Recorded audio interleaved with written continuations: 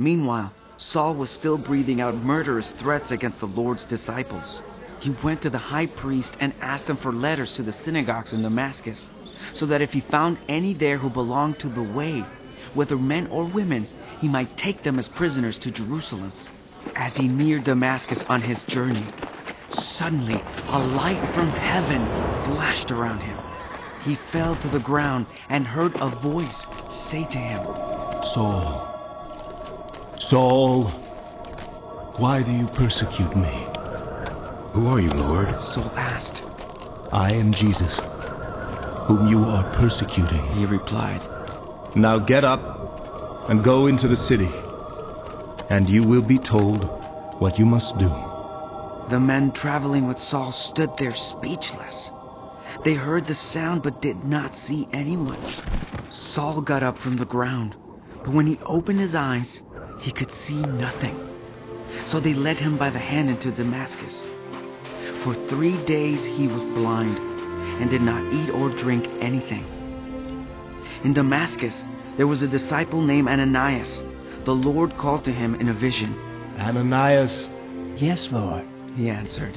The Lord told him, go to the house of Judas on Straight Street, and ask for a man from Tarsus named Saul, for he is praying. In a vision, he has seen a man named Ananias come and place his hands on him to restore his sight. Lord, Ananias answered, I have heard many reports about this man and all the harm he has done to your holy people in Jerusalem. And he has come here with authority from the chief priests to arrest all who call on your name.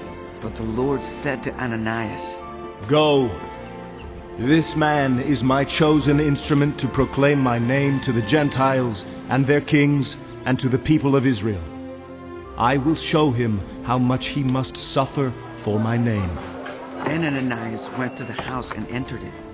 Placing his hands on Saul, he said, Brother Saul, the Lord, Jesus, who appeared to you on the road as you were coming here, has sent me so that you may see again and be filled with the Holy Spirit. Immediately, something like scales fell from Saul's eyes, and he could see again. He got up and was baptized, and after taking some food, he regained his strength. Saul spent several days with the disciples in Damascus. At once he began to preach in the synagogues that Jesus is the Son of God. All those who heard him were astonished and asked, Isn't he the man who raised havoc in Jerusalem among those who call on this name? And hasn't he come here to take them as prisoners to the chief priests?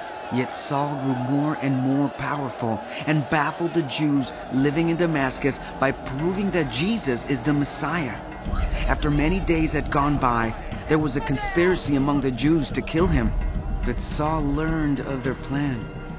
Day and night they kept close watch on the city gates in order to kill him. But his followers took him by night and lured him in a basket through an opening in the wall. When he came to Jerusalem, he tried to join the disciples, but they were all afraid of him, not believing that he really was a disciple. But Barnabas took him and brought him to the apostles. He told them how Saul on his journey had seen the Lord and that the Lord had spoken to him, and how in Damascus he had preached fearlessly in the name of Jesus. So Saul stayed with them and moved about freely in Jerusalem, speaking boldly in the name of the Lord. He talked and debated with the Hellenistic Jews, but they tried to kill him. When the believers learned of this, they took him down to Caesarea and sent him off to Tarsus. Then the church throughout Judea, Galilee, and Samaria enjoyed a time of peace and was strengthened. Living in the fear of the Lord and encouraged by the Holy Spirit, it increased in numbers.